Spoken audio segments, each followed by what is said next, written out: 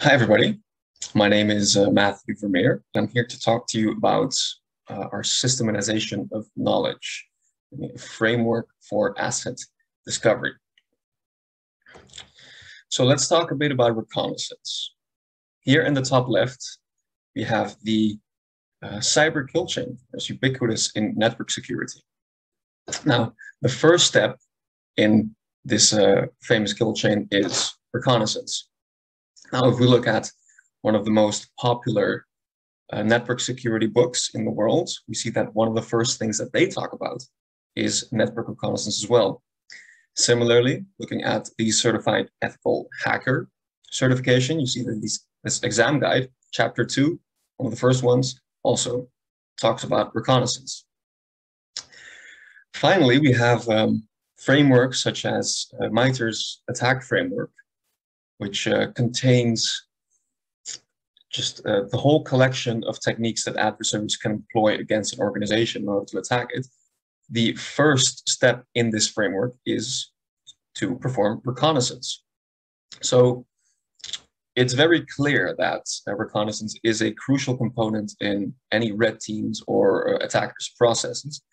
And uh, it's very obvious, of course, because attackers need to know what it is they're attacking uh, before they're actually able to attack anything. Similarly, uh, defenders need to know what it is they need to defend if they are to properly defend and secure their network. So on the defender side, this is usually referred to as asset management. Now what happens here is uh, usually whoever knows more about an organization's network has an advantage over the other. So it stands to reason, of course, that uh, proper asset management is the bedrock of good security posture for an organization.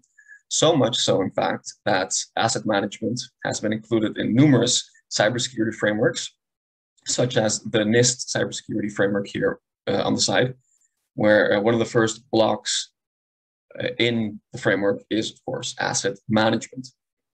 Also, the ISO IEC standard uh, 27001 requires organizations to uh, keep a list of all of the assets uh, that are related to information or uh, information processes and keep this list updated uh, over time.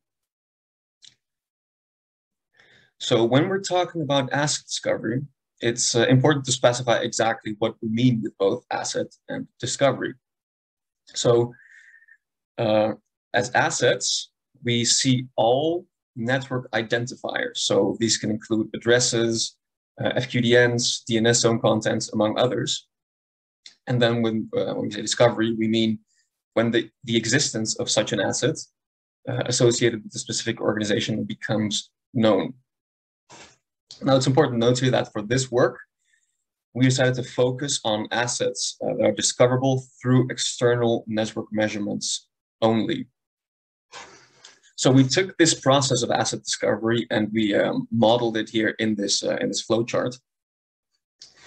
Uh, the assets you can see in the um, nodes here, the yellow nodes, network identifiers is an asset and network services are assets. And then the discovery methods are the edges that connect the nodes to each other. Now, of course, you can see here that we have an organization node on the left-hand side and a network service characteristics uh, node on the right-hand side. Of course, the asset discovery um, process begins with determining the organization for which you are going to perform this uh, process on. But since organizations are not assets themselves, we uh, leave this out of the, uh, the technique itself. And of course, uh, network service characteristics, such as version numbers and specific misconfigurations of the software, are not assets themselves, which means that um, we decided to scope those out of the uh, search process as well. So I'm going to talk a bit about how we actually performed this uh, systematization. So uh, extracting or finding these techniques can be uh, quite challenging because these techniques are scattered throughout the literature and they're not explicitly advertised as asset discovery techniques. Um, usually they're developed by researchers as a means to an end, just to find um, spe specific result that those researchers are looking for at that time. So what we ended up doing is just taking 14 major security uh, and networking venues over the time span of five years, which is from 2014 to 2019.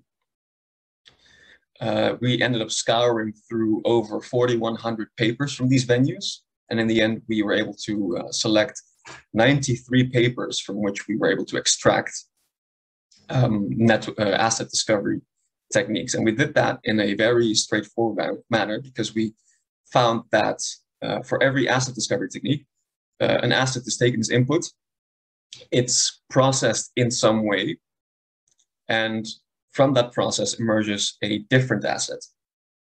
That is how we looked at these asset discovery techniques. And um, going back to the flowchart, I'm just going to uh, explain uh, with a simple example how this works. So here at the bottom, we have a sample of the systematization table that you can find in our paper. And if we take one of these rows, which is one uh, asset discovery technique, let's take this third row here, we see that it's an edge two technique, which means that it's going to be talking about this edge right here. It takes an IP address as an input asset, which is a network identifier. It performs a ZMAP scan on this IP address here in this edge, and then uh, performs some additional signature analysis um, from the banners that it fetches from this um, IP address. And from that analysis, it is able to determine whether a honeypot is running on that particular IP address. So what would this look like in practice? So imagine that you have this top level domain that is protected by a, a cloud-based security provider, and you want to determine the real IP address that is behind um, all of the web servers uh, in this zone. So you take the domain, you execute a, an NS query, which is a Edge 2 technique, on that domain, which yields you the name server responsible for that domain. Once you have the name server, if you're lucky enough, maybe this name server uh, gives you the possibility to execute a zone transfer, which is a, a Edge 3 technique, which then yields you the complete list of subdomains within that zone.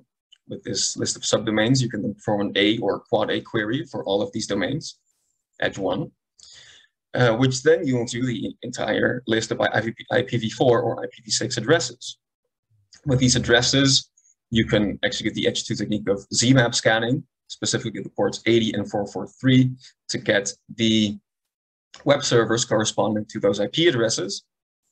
And if you investigate the web servers uh, themselves, the web uh, pages on these servers, and you find that these uh, uh, web servers have the functionality that uh, to trigger outbound connections, you can trigger such a connection to one server that you control, which then uh, ultimately reveals the real IP address of this web server.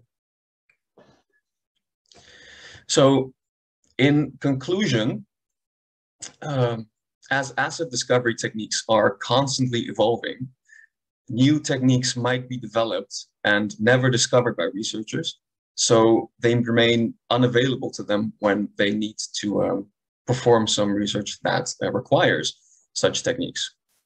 So this framework can then assist these researchers by providing a number of uh, different techniques that have already been developed, uh, which prevents them, of course, from having to reinvent the wheel all over again.